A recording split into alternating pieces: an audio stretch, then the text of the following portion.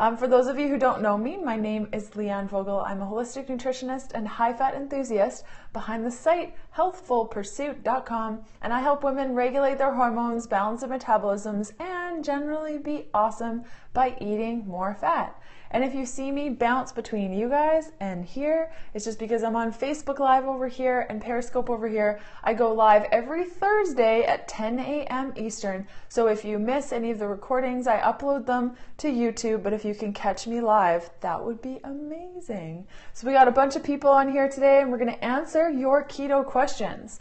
So um, there was a question that just came in about what keto is. So keto is a low carb, high fat eating style. Um, my approach is a little bit different than the classic because I'm dairy free and uh, I believe in whole foods. So we're not counting a lot of the vegetables. We're not doing that thing. And I also um, uh, see the benefit for some people in carbing up at night. So that means having a bit more carbs in the evening so that you feel awesome. Hey, Tiffany, I'm going to grab a pen.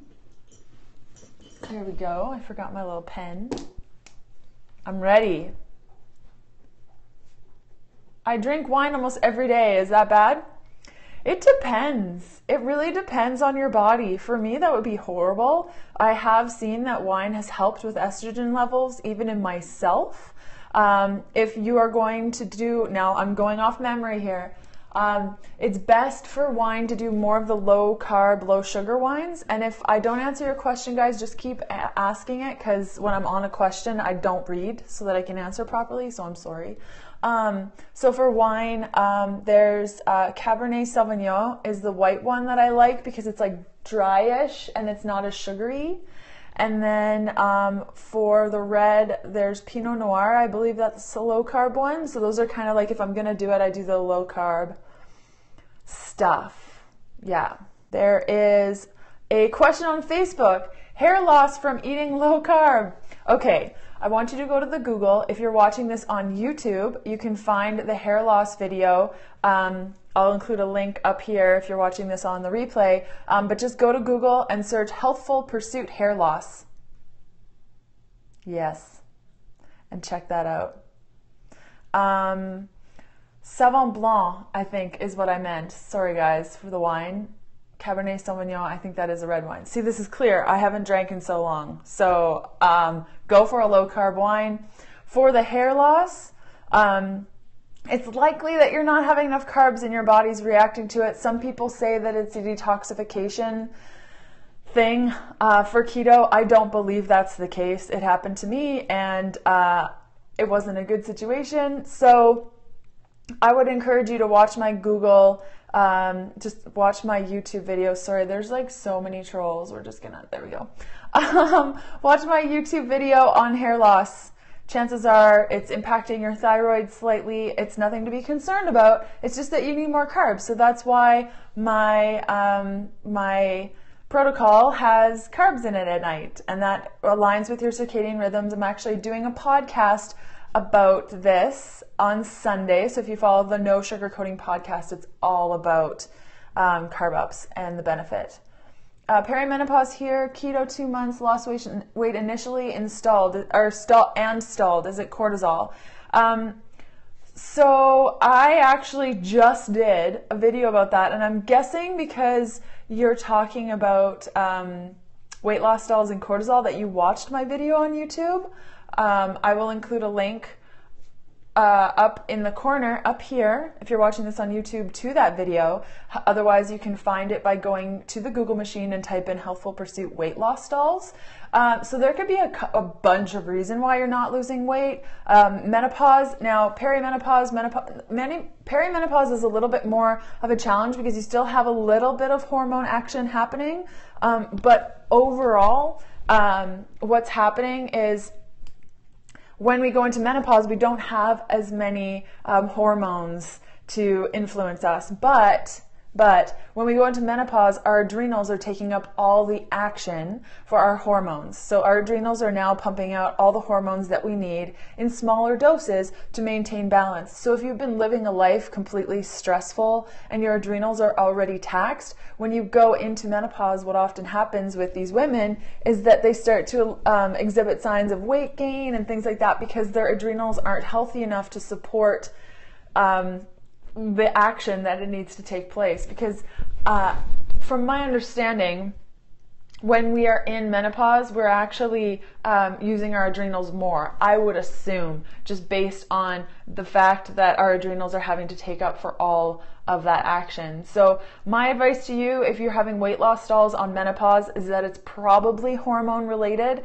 I, I highly doubt it has anything to do with keto, and keto is probably uh, assisting with the balance and helping you um, do things, and especially with that fat, it's going to help a lot. So I would go to your doctor and get your cortisol AM test tested, rather um, your DHEAS. Now it's going to be lower than normal because you're aging, and it lowers with age. Um, and yeah, I would start with those because your DHEAS is going to tell you whether or not your pregnant, like what pregnenolone is doing, and your cortisol will do the same. Advice says Shirley. I'm sorry that you feel that way. I highly encourage you about that.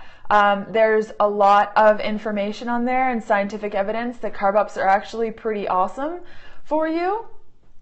Um, so I included a lot of literature. There's like over 20 references in that podcast, and all the links will be there, and you can read them. And there's actually quite uh, good evidence that this is actually a good thing. So it really depends on your body. Some people do better without carb ups, some people love carb ups. It totally depends um, how you feel.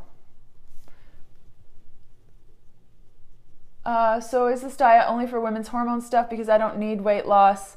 I'm under. Sorry, I missed the last piece of your question. Could you ask that again? You're under what, sorry? What are your thoughts of being pregnant and following a keto diet? If you are pregnant right now and you're already eating keto, I see nothing wrong with it. But if you're pregnant and you've never eaten keto and all of a sudden you start eating keto, I wouldn't necessarily recommend that. I don't think that there's anything wrong with eating more fat, but I wouldn't purposely get yourself into ketosis constantly. I'm underweight, so I want light and healthy diet to be able to eat since I have eating problems? Okay, I'm going to answer that question in one moment. Um, and so, if you're pregnant and you feel good with eating more fat, eat more fat, but I wouldn't um, purposely try to lose weight or anything like that while while you are pregnant uh, or breastfeeding, for that matter. So uh, that's definitely something to keep in mind. Um, and okay, so we are going to talk about um, more disordered eating or unhealthy relationship with food and how keto is good slash not good for that. So the classic approach to ketogenic eating is a lot of tracking and macro counting and such. So um, if you have a disordered eating with food or a disordered relationship with food, that can be really stressful and cause a lot of triggering action. So, um, in my fat fueled program, you can find that at healthfulpursuit.com forward slash fat fueled. I'll include a link in the show notes uh, if you're watching this on YouTube and also in the corner, or you can find it healthfulpursuit.com forward slash fat fueled. And macro is macronutrients. Yes, so you're counting everything that you're doing. So my approach is not that. You look at your plate, you see if you have enough fat in your ACE. So I really like that approach because I came from a disordered place with my food and I refused to conform. I did the whole keto thing, hardcore thing. My hair was falling out, my adrenals were a mess, and I just said like screw this. I need to come up with a better way. And that's when I started testing and, and doing a lot of research uh, with the carb ups and to track, to not to track. So, to answer your question, yes, totally. Totally, you can do keto without counting. Um, and I have a really, really exciting project that I'm working on right now um, that's going to bring this to the masses. And anyone who's interested in keto but doesn't want to obsess about their food anymore, um, will have an option out there for them um, because it's just crazy town. And um, I think that's all I have to say about that. I hope that answered your question. Um, I added a lot of guac in my salad. It was awesome. Awesome. I love guac. How many carbs in a carb up? I like to start off with um, for every quarter pound that you weigh, start off with one gram of carbs. Years ago, I like to start off small and work your way up. It doesn't need to be a lot. So then we're having some major issues on Periscope. I'm so sorry, guys. It keeps kicking every. Um, say you weigh 100 pounds, that would be 25 grams of carbs extra. So it's really not that much. Not that a lot of you weigh 100 pounds, but even if it's say you're 200 pounds, that's 50 grams of extra carbs. So you're really playing around with that and starting small. I just bought your keto guide and it's amazing. Thank you so much for buying it, Candace. I really appreciate it. Thank you. Um, is corn a good carb? Is corn a good carb uh, for a carb up, like fresh corn, not chips? If you don't react to it and it doesn't cause inflammation, I would say go for it. Um, just make sure that it's non-GMO if you are interested in that or organic. Sorry, you can probably hear my dog drinking her water. Um, but uh, personally, it's a grain for me, and it, it really aggravates my digestive system and causes a lot of acne, like right here. I had butter on the weekend, and it's all like yucky. Um, arrowroot, any good for keto? Totally. In your carb up, 100%. Yeah, potato starch too because it's uh, it has resistant starch, so that's helpful. You mentioned grass-fed beef. I can't afford organic. Is it okay to get regular meat and chicken and bacon? Do you eat bacon? What do they say? Is the Pope Catholic? yes, I eat a lot of bacon. Okay, so if you um, are, you know, eating keto on a budget, um, you can uh, you can get more of the lean ground lean ground beef, uh, chicken breast, and add your own fat. The reason I say that is because conventional meat is going to be a little bit higher in environmental toxins. It could cause inflammation, and the reason that that happens is because all that stuff is stored in the fat of the animal. So if you're eating high fat, then it's important to make sure that a fat source is good. So, say coconut oil is pretty inexpensive. You can get it at Costco, a big, huge bucket of it. I would get the ground beef that's lean and the chicken um, breasts that are lean. And then I would add my own fat to that. That way, you make sure that there's minimal hormones because, again, the hormones are stored a lot in the fat. So that's kind of how I would go about that. Um, I've been eating plant based for three years, never saw any sort of weight loss. Alcohol every weekend may be a big culprit. Through my health though my health greatly improved. Low carb, high fat on the surface looks like I'm going to be cutting out a lot of veggies I've learned to love. Am I just not fully understanding what you eat slash veggies? Yeah, I mean, I was vegan for eight years. Um, and so when I was vegan, I was eating a crap ton of vegetables, but I felt like garbage. Um, so now I would say like if you follow me on Instagram, maybe follow me on Instagram if you're a little bit um, curious about what what like the fat fueled eating style is. You'll notice that like half of every plate that I eat is greens and vegetables, and I don't limit. Like my whole thing is I don't count my kale. like if I'm gonna have kale, I'm gonna have kale. Um, so you can make it work for you. Uh, my carbohydrate amount is higher than most people. Like I can eat 75 to 100 grams of carbs and get into ketosis um, now that my body is fat adapted. So once your body is fat adapted, you can usually slide back into ketosis a lot quicker because your body um, knows how to burn fat. Um, I am wheat free and grain free and has made a world and it has made a world of difference. Being keto, awesome. Um, I get the coconut oil and grass fed butter. Thank you. Awesome, Anna. I'm glad that my budgeting tips help. So I would just add those to it. Yes. Um, what are we at? Oh my goodness, we got two minutes. I like to keep the periscopes at 20 minutes only. Same here, just happened to realize. Yeah. Are cows or carbs what make you gain weight? Okay. this is awesome. Okay, so I. This is a multifaceted answer. So the question was Is it calories or carbs that make you gain weight? And I would say both.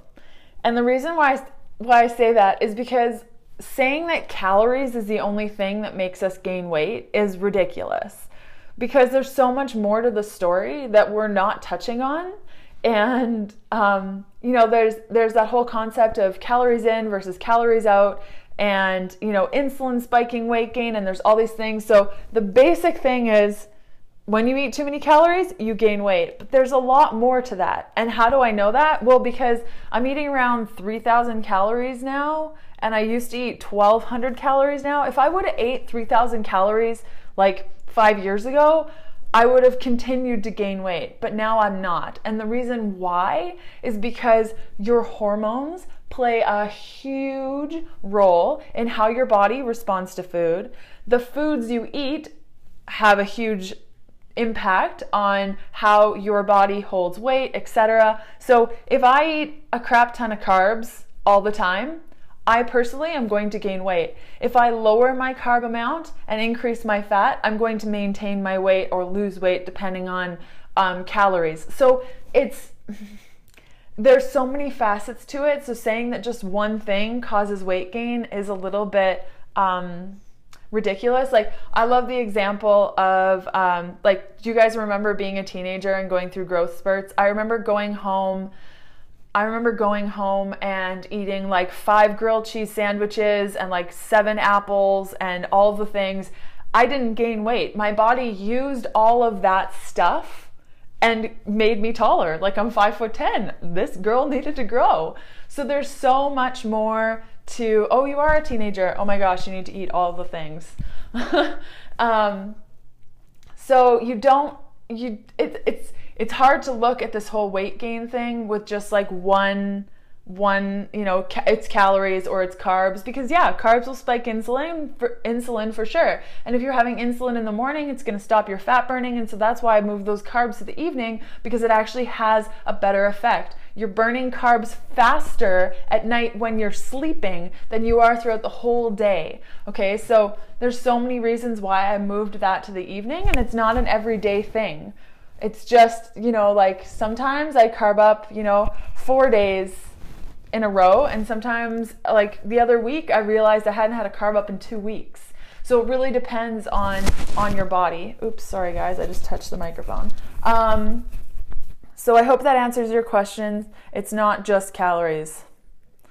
Um, best exercises while fasting. I really enjoy fasted more cardio um, so I'll go for like a speed walk, and I really like that. And then I'll have I'll go home and I'll natural shampoo or conditioner. So I use like um, Color Stay sulfite free, fat fueled versus bulletproof or Jimmy Moore for women. I think I love Jimmy so much. He's so great and he does so much research. Um, I didn't do necessarily personally well on that approach um, because there were limited carbs and it felt like I had to track everything. Um, but I have some clients, previous clients that like loved it. So it totally depends. Uh, bulletproof, I hated the protein fasting.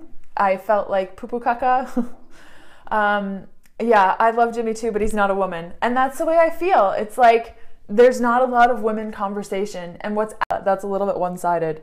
I'm going to answer one more question on facebook back to keto after losing to your cravings for a few days and end up ruining your diet i blame anti-stress uh, anti-stress uni-stress university got it okay so um, I actually had a client email me with the same concern the other day, and we went through it's important for her to do this and what was important to her and why you started. So um, I would encourage you. Um, to to give it a whirl and and go through exactly why you started eating this way and why it's important to you and how you feel and all of all of that stuff to kind of reconnect to your purpose.